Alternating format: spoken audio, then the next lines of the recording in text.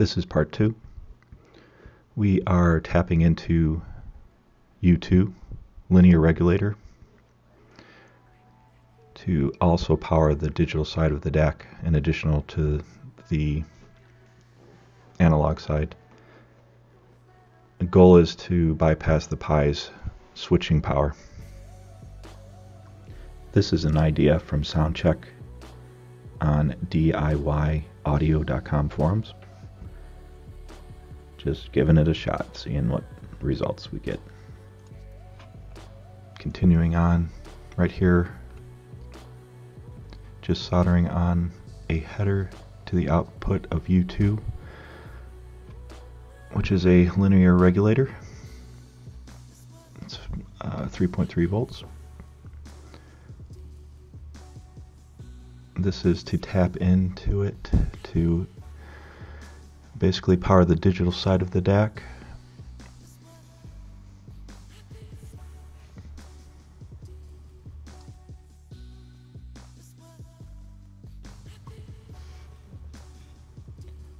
Here I'm just attaching a jumper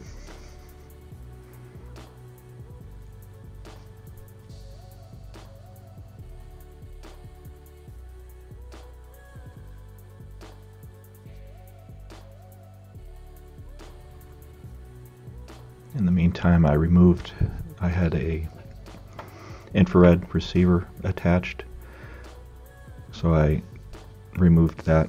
It was in the way of the 3.3 volt. This is the Pi Zero. I don't have full headers. It's just exactly what the DAC needs. Grounds, I squared S signal, etc. power. I'm right here I'm bending the 3.3 volt from the Pi out of the way. You can see on the DAC I added a header for 3.3 volts.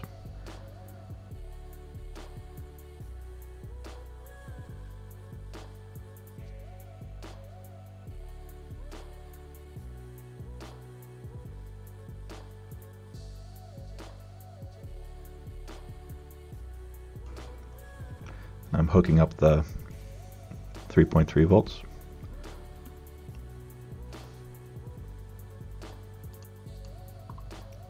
Independent from the Pi.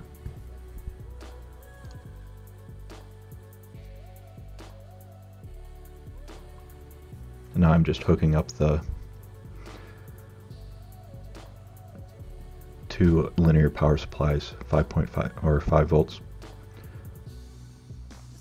the DAC power, and then the GPIO Raspberry Pi power.